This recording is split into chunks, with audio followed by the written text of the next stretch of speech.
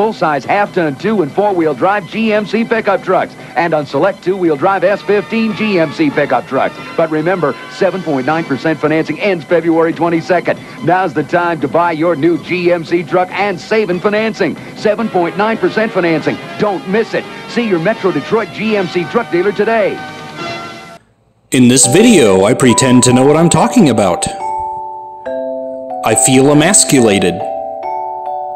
I do a little pouting. And I finally see the light. Oh, and something about a carburetor or some such.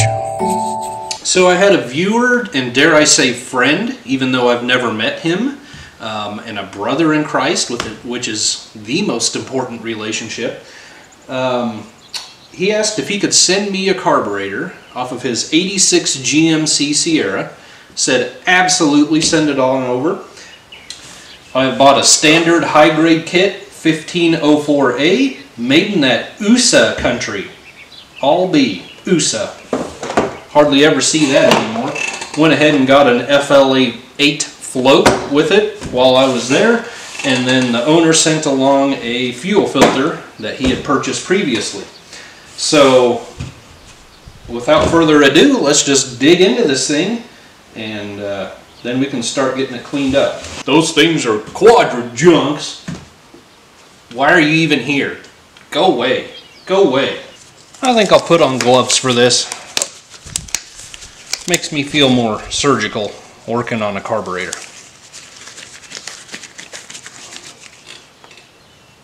Alrighty. Okay, first thing, one inch wrench, get the bolt, the filter out of there.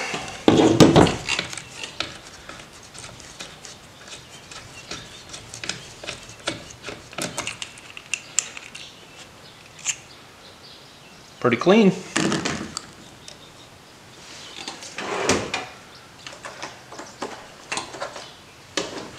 Spring out. Okay, I'm gonna get the choke lever linkage disconnected here.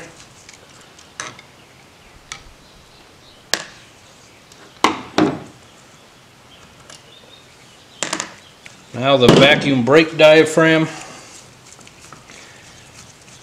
I forgot to mention it at the very beginning, but if you are needing to do this, take all the pictures you think you'll ever need beforehand or draw diagrams just for insurance.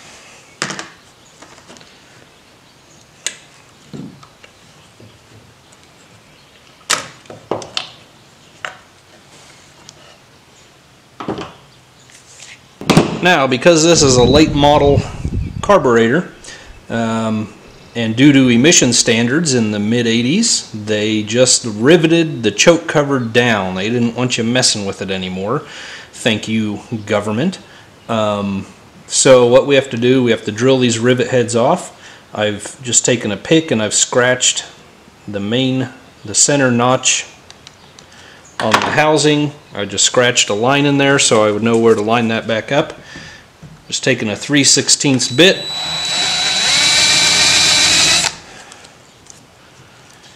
Those rivet heads off. Once you see them spin, just stop. You want to keep these, keep hold of these little retainers.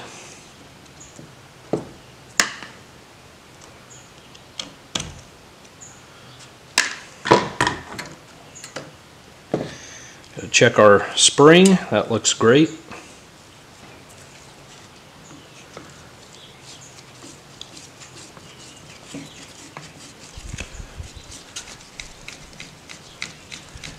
Our screw out here.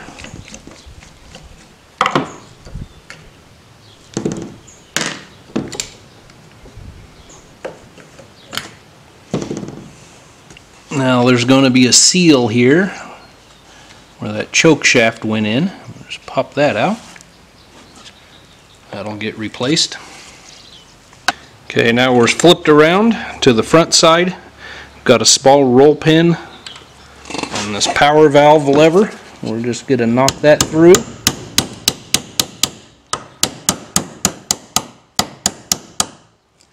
Should be able to stop right there without taking it all the way out.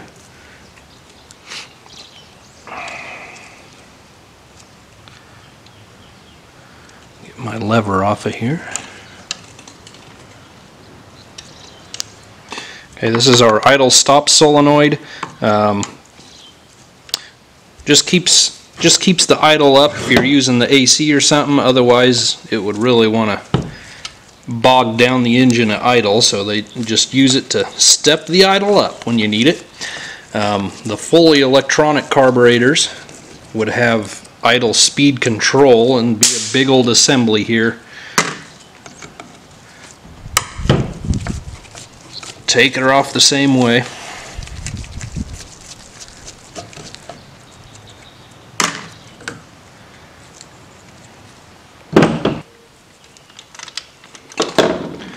Now we're going to remove the secondary metering rod holder here and the rods.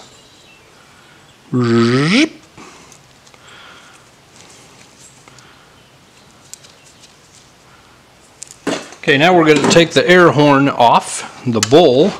Um, to do that, there are nine screws holding it down. So we'll do that. Now our guy that sent this to me made this handy little piece of wood to ship in a box, which was an excellent idea. But that means we have to remove the mounting bolts, at least on the front side. So we'll go ahead and do that.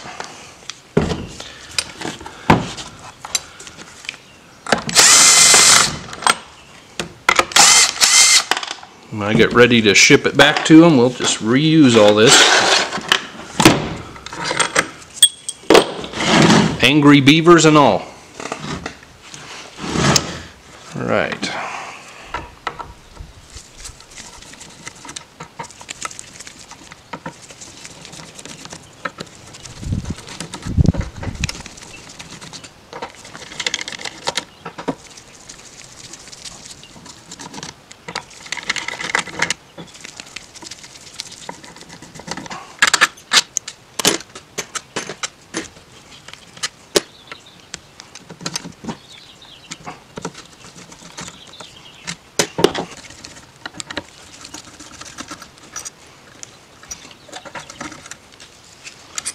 Did I say nine?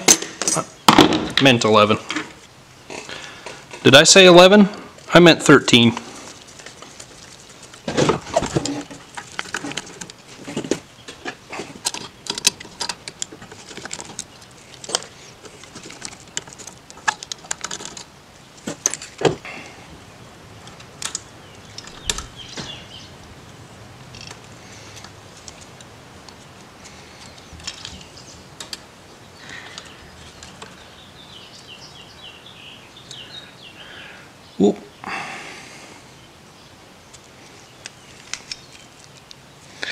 Yeah, we got some problems.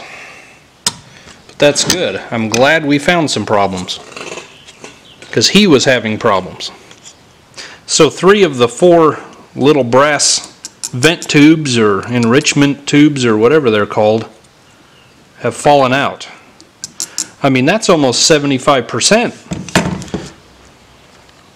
Can't see them yet, but they're in there. So we're going to pull this gasket off and get my power valve out of here with it. There comes the choke lever.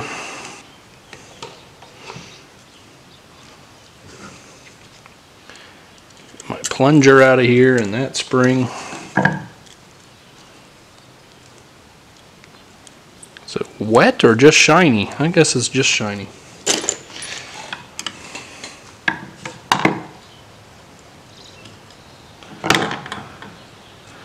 There's one of the tubes. There's one of the tubes. There's one of the tubes. Take out the bowl insert.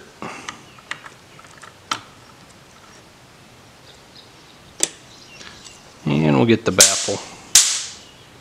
And we'll get the ba and we'll get the baffle.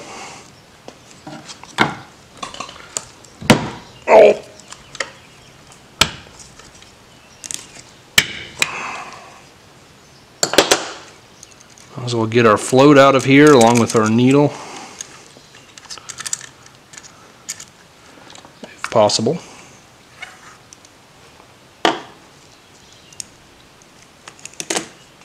Okay, I found another possible problem. Well, it most certainly be a problem here, but the seat was just barely, I wouldn't even call it finger tight. So I have no doubt fuel was leaking past that thing down on the bottom. I think there should be a seal under that.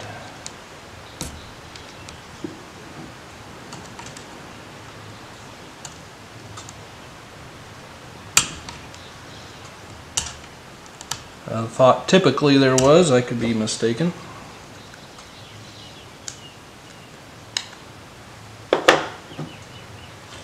Anyway, now let's go after the jets. Right down in here.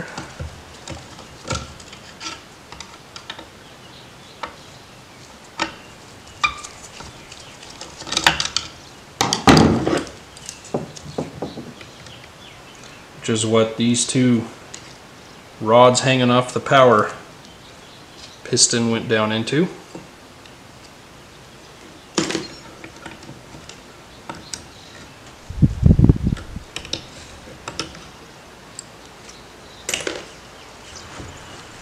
Got a little baffle here I need to pull out.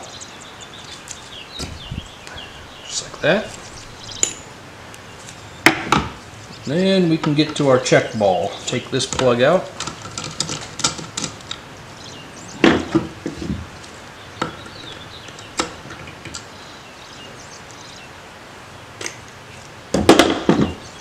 Turn it upside down. Oh, there we go. There's our little BB and our spring. The spring was from the bottom of the power piston. From up inside there. Just want to want to be clear here. Now do you technically call these feedback models if you only have the mixture control and not the TPS or the idle control? I don't know. I guess it's a feedback model.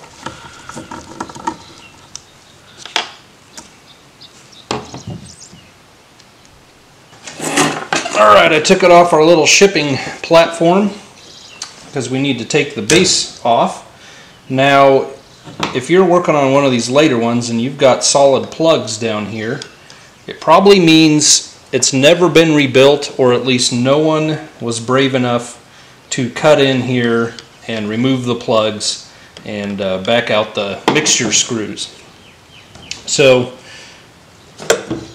obviously this one has been modified already, someone's done that. Now these are kind of a D-shaped screw head in there, you know, in a manufacturer's quest to ever frustrate a do-it-yourselfer or a small-time mechanic. They've always got to do things special. You know how that goes.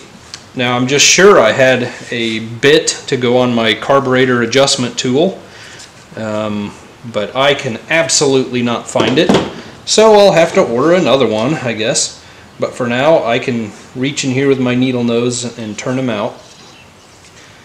And I'm just going to see, just for curious curiosity's sake, how where they were adjusted. So that's half, one, one and a half, two, two and a half, three, three and a half, three and three quarters.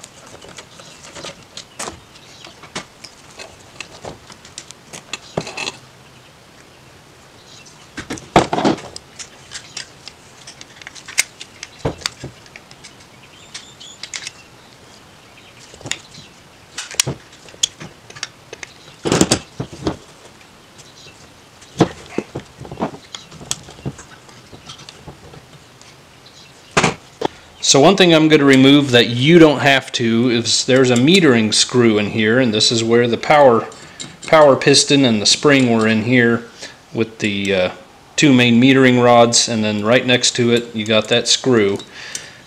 And unfortunately it's also the D-shaped head on it but I'm going to struggle through with the needle nose see if I can get a count of how many turns it's in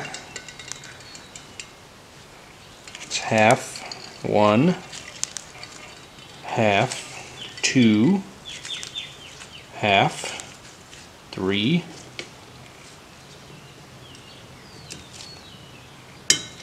I think it's tight.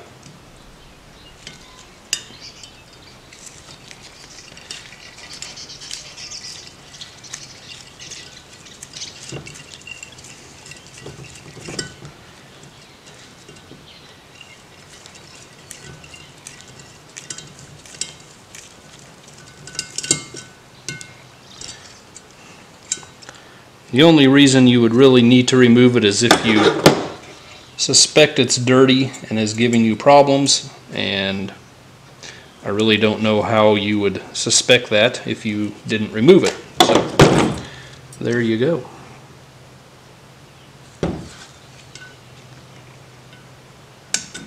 Ah.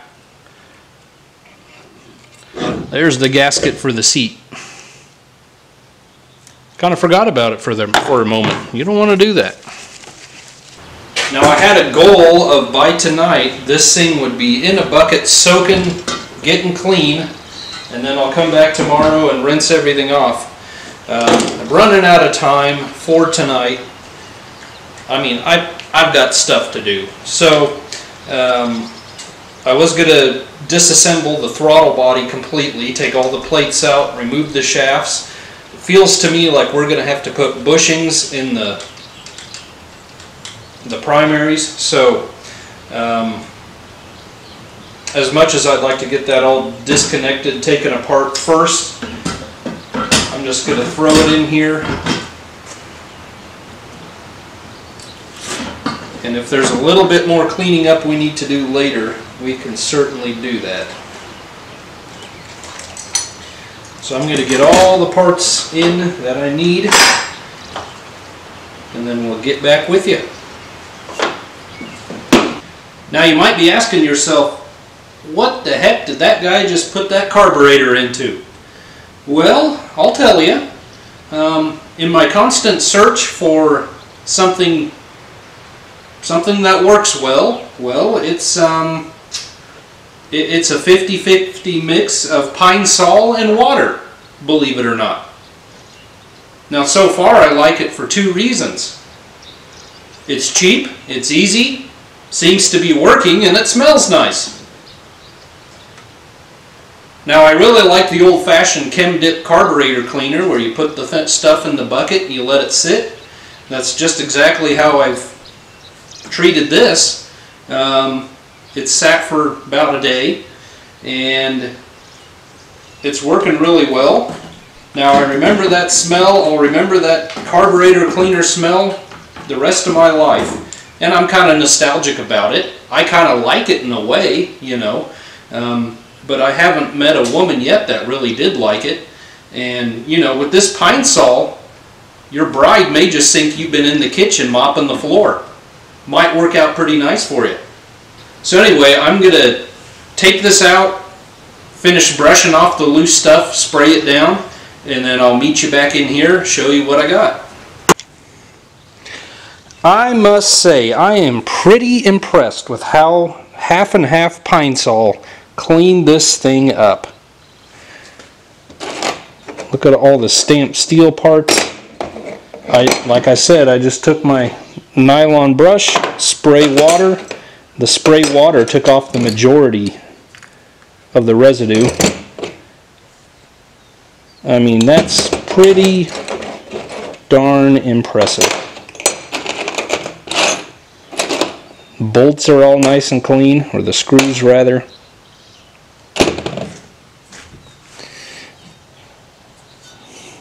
That's what the body looks like.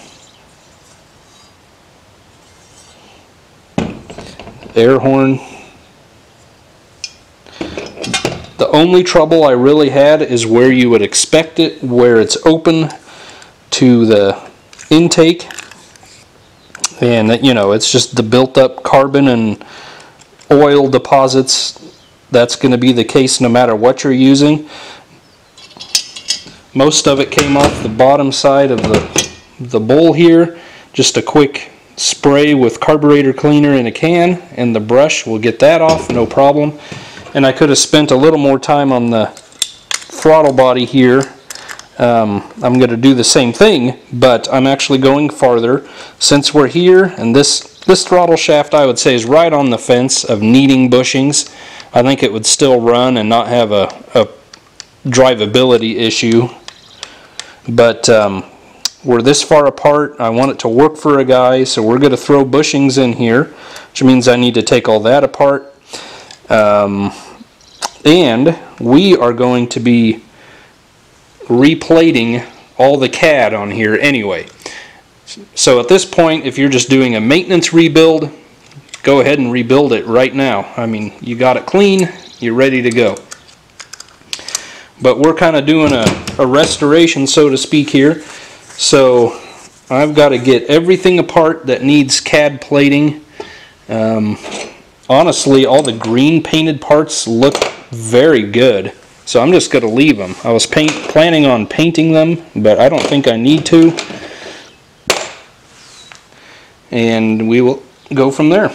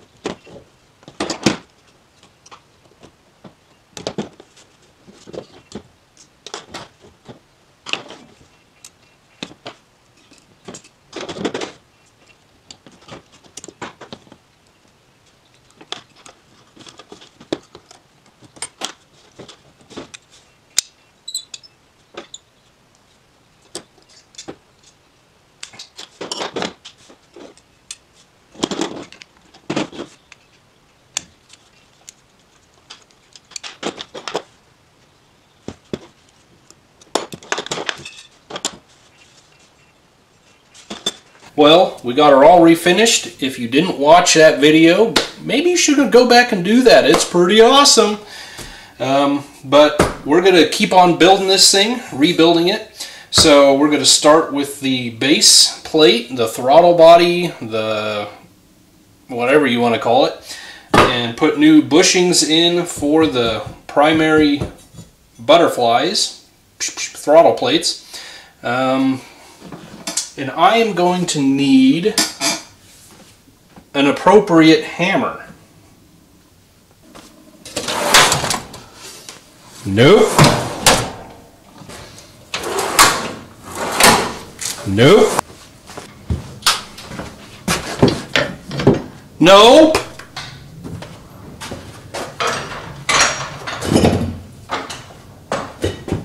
Will you cotton picking?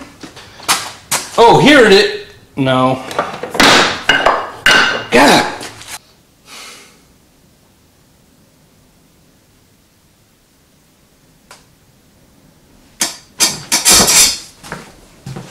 Maybe the kids have been messing with it.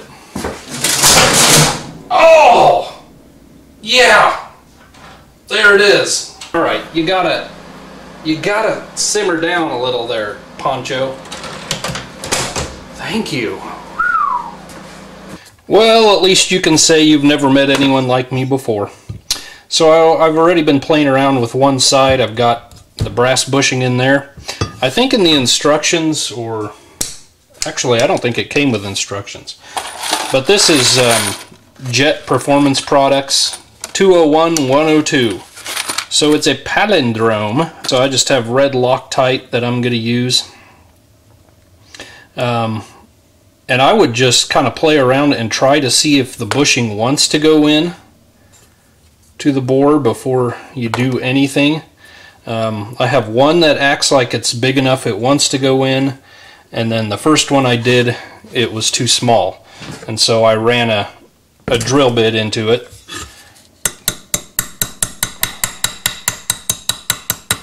I think this one will go in. Uh, it also helps to pay attention. This this hole was um, there was a shoulder in there, or still is. So the bushing didn't want to go in because of the shoulder. This side there is a shoulder, but it's way back here. So uh, I don't need to worry about that either. And we're just going to get it flush.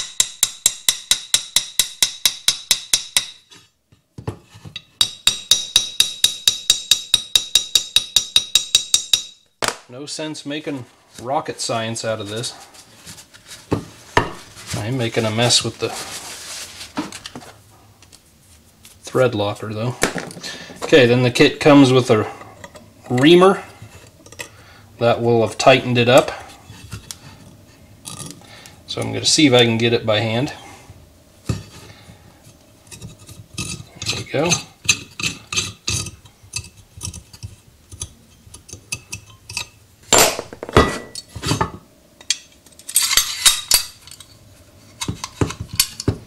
and that is exceptionally tight.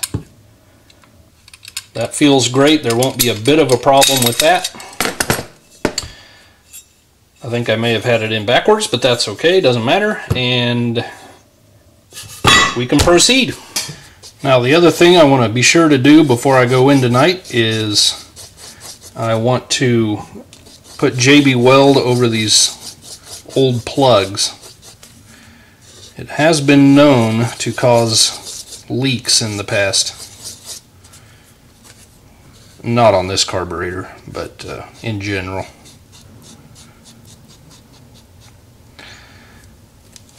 And it's not getting any younger, so we might as well just do it. Popsicle stick would be better for this, but I don't have any in here, so...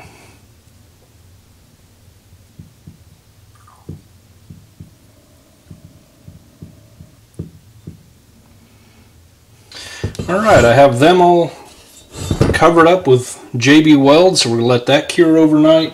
We're going to let the Loctite cure overnight, and we will rejoin you tomorrow. Get a good night's rest now.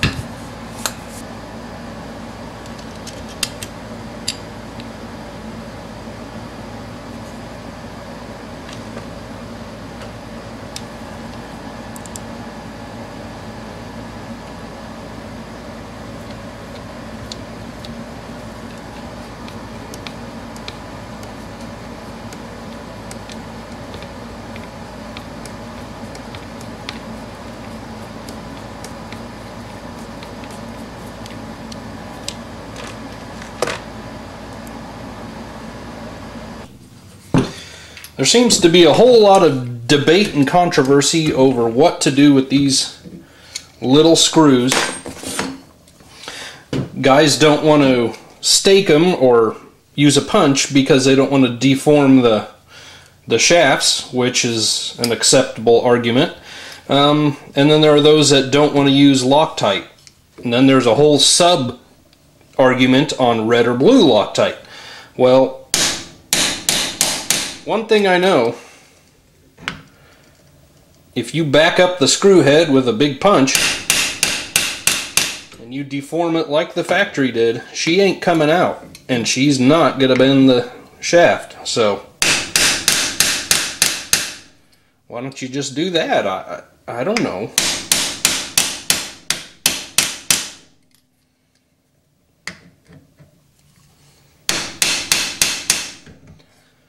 Don't even monkey around with a another little punch. Just get a small tack hammer and do it already.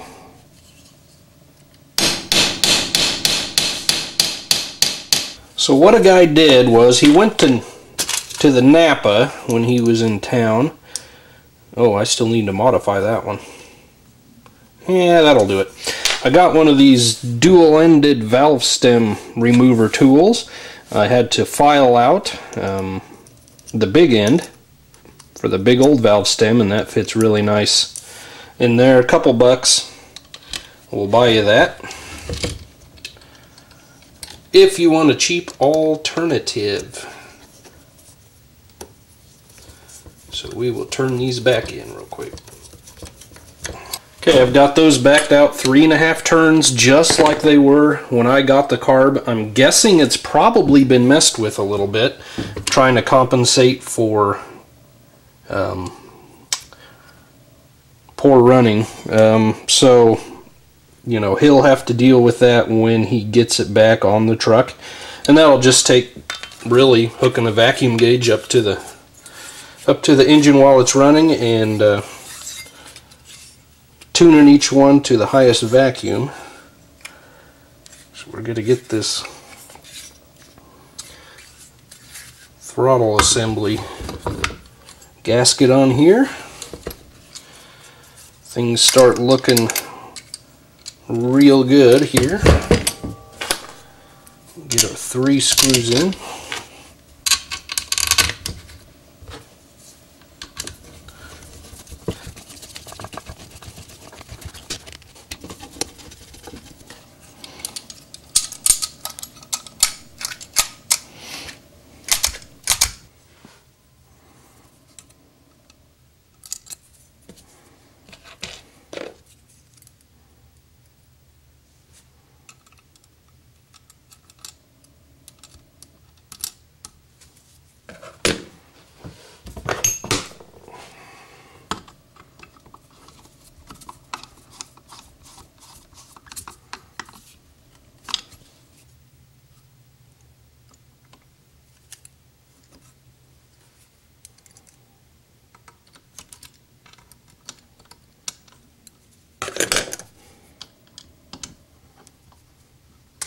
Okay, I've got my pump ball and the screw that holds it down in. I've got the metering screw back in, three and a half turns. I've got the seat with the gasket in um, through the power piston spring back where it goes.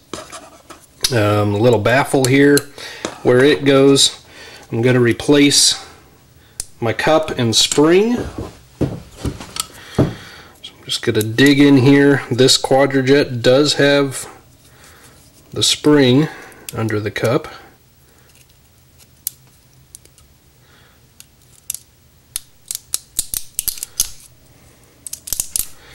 We'll just, just, yeah, just go ahead and ruin it. There we go.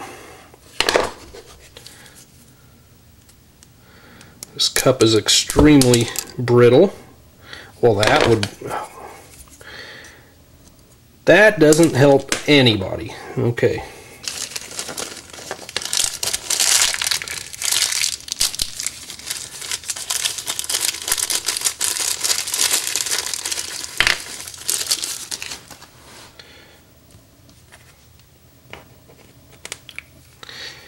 our little tool here. Slide her over.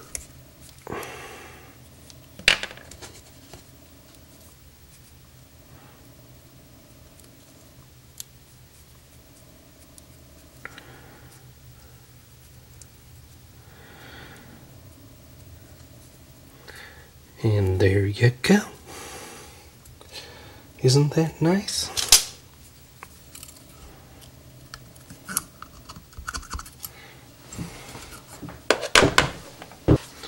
I've also got my jets in there. Forgot about that little detail. Just simple stuff. As I'm sure you understand, there's going to be a lot of variations of these carburetors through the years. Um, so you just got to pay attention to the equipment you took off and what needs to go back on. You have electric choke, you have non-electric choke. Um, so a lot of these are going to have a, the seal here going in there. Um, this one doesn't have it. This passage goes nowhere. So just got to be careful about that. Now I've greased up the seal in there.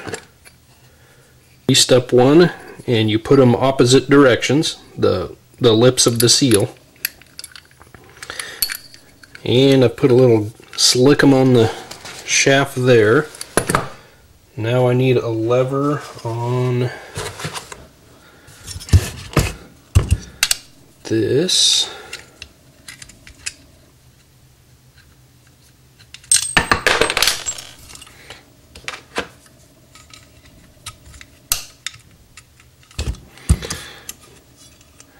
Now for the trick.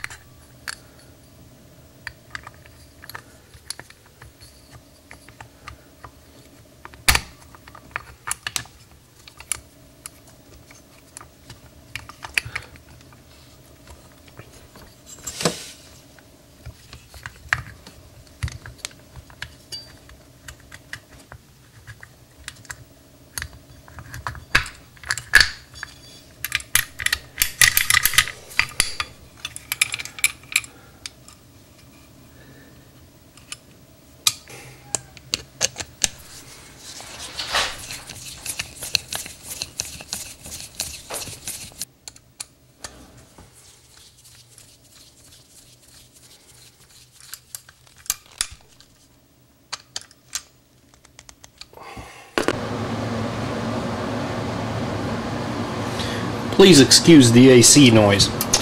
So I threw my seat in there, or so I threw my needle in there and everything and got everything set um, as far as float height.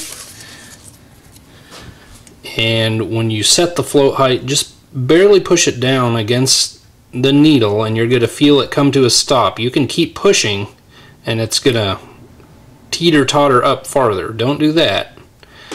Just light push and then want 13 30 seconds from the toe end of the float to the casting here. And I've got that so we're good there. I took that little clip off of the needle. And this is just where you bend it by hand. Get my needle out don't know if you can even see this clearly on camera or not. It's so cotton pick and tiny. Makes the guy feel like Andre the Giant when he's working with that stuff. Okay. I'm going to hook that little wire clip over the the back end of the the center here where it's round those slots are very inviting to hook that wire through, but uh, that's not where you want it.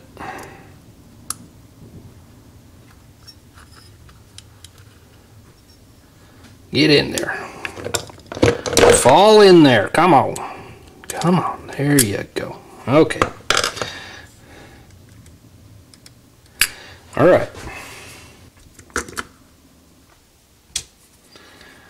This guy back in here.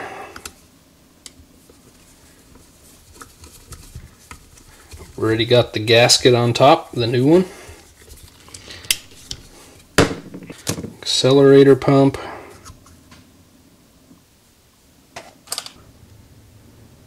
Whoop. See, I already forgot something. The little cover for our float arm there.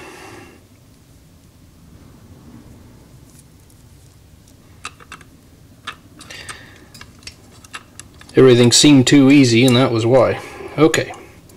Wow, I hit those rods right off the bat there. Alright, so now we're going to put the gasket on. No, I'm not either. I am going to finish up the air horn before I go any farther with that so that I don't drop any screws down there. So let's do this guy.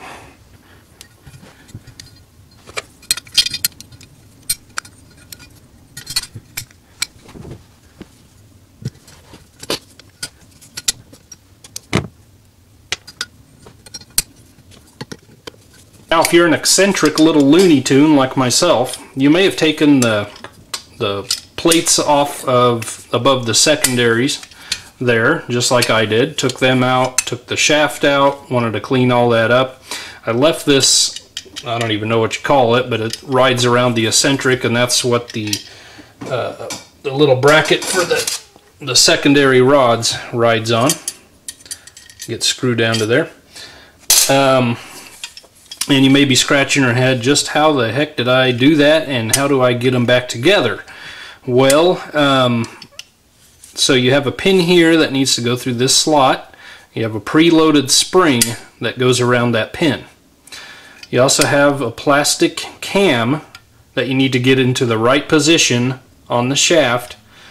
And uh, so we take this piece of metal out um, and this this piece of plastic is offset. I don't know if I can show you well enough assembled here, but you can probably see that the hole is way over here. It's offset towards the front of the carburetor. That's where you want the majority of the plastic on that little cam. Otherwise, it isn't going to work for you. Um, then you just slide it through, get this pin through, and get the spring rehooked around the pin. Now, you can also, I'm assuming, take the spring pin out. You've got a little set screw that holds the preload on it all that stuff, and that's what gives those flaps their snapback. You know, so when you romp on it, so forth. Um, and then you can push your roll pin back in with that piece. So, wanted to show you that just in case you got confused. So I'm going to put these secondary plates back on now and We'll get back with you in a bit. Okay, are you ready? Now for the hard part. No, it's not that bad. Okay, we're going to put the top gasket on and the air horn. And you got to watch approximately three things here. Um, first of all, I got the power piston, the accelerator pump. We've got to hold down. Uh, we got to get it over this solenoid here and we've got to get this choke rod through the right place as well. Now I've taken the proper gasket. Make sure you get the right gaskets when, when you're building these things. The kits usually come with a couple options no matter what you're doing. You know, these carburetors changed a bit through the years. So we're going to get everything through the right place here. I've pre-bent this little flap that goes underneath the power piston arms. So I'm going to sneak that down there.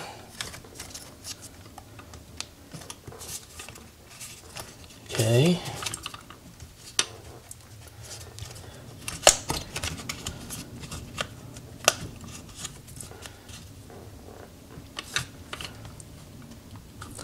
Get it over our rods. Here we go. Get it over our solenoid. And then position it over our alignment pegs there. Okay, so those three things are set. Now you don't want to let your rods pop back out. So what we're going to do, we're going to put a screwdriver just like that over the top of both of those. Now we've got to get our four tubes in the right spot and everything else lined up. So I'm going to start the, uh, the choke rod is the highest thing sticking up here. And if you can get a hand for this part, so much the better. Come on, capture that choke rod there. Now I'm going to start the solenoid in place and the piston there. And I think everything's ready. And there we go. Easy, right? I'm just going to put a couple screws in here real quick so that spring tension doesn't let it come back up.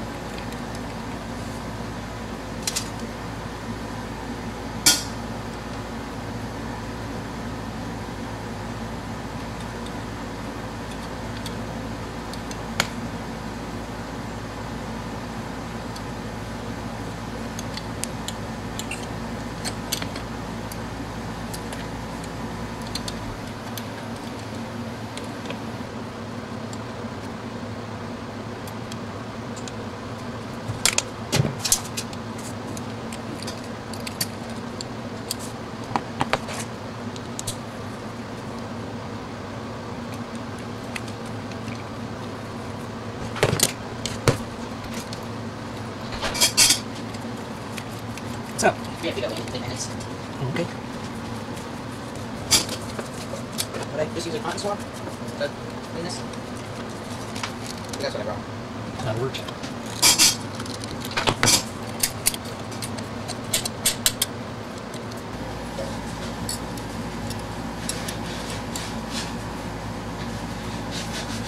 I think it was.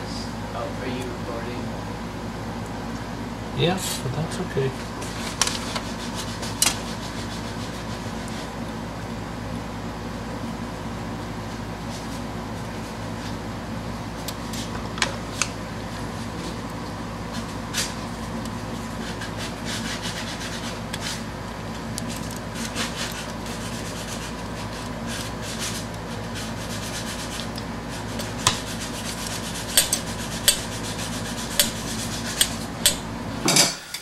Well, there we go, guys. Got her done. It's looking good. Um, I think it's going to work just great for a guy. I hope. I've got to get it boxed up and sent back to him. It's taken me way too long to get to this point. um, just like things go. And I know he understands that, um, but anyway, you like to get quicker turnaround. But we got a cab plated. Um, I didn't show it. I got the electric choke unit back in there, and you just use self-tapping screws to do that where the rivets were. Fuel filters back in there. I put a T in there for the vacuum that was loose. Um, we found some issues with it. I'm so glad we did. Hopefully it's going to work a whole lot better for a guy. Like I said, he'll have to throw it on there, play around with the mixture screws, the idle speed screw. Um, now that it's kind of rebuilt and everything's back where it should be, it's probably going to run a little different going right back onto the engine. So, man, I've got a mess going on again. Always gets this way when I'm doing stuff. Now on yours, if you're watching this and you don't have this exact model, this is an M4ME. Um, we've got that mixture solenoid in there. Um, that's really the only electronic feature, feature of this one other than your electric idle stop there. Um, you know, you can get much less complicated quadrajets and much more, uh, at least as far as electronics, feedback models and so forth. Um, I guess it does have an electric choke as well. But if you're watching this, you have a Quadrajet, not this exact model. Obviously, you'll get a book, basically, with your rebuild kit. Um, just go by the instructions, use those par parts diagrams. You will find your model in here, find your part number, and use those um, values for making adjustments. Obviously, uh, if you want to get in a little more depth as far as making adjustments, you might need a vacuum uh, vacuum gun. I forget whatever whatever they're called. You know what they're called. And then this little scale, degree scale with the level on it. That's magnetic and it goes onto the uh, choke plate there and you can make adjustments with that. I'm not going to get into all that with you because I don't think we need to get into that. So there we go. I'll get some pictures of it, close-up pictures. Um, I hope he's happy with it. Gonna send it back, and that is it. So thank you so much for joining me. God bless you guys. We will see you on the next one.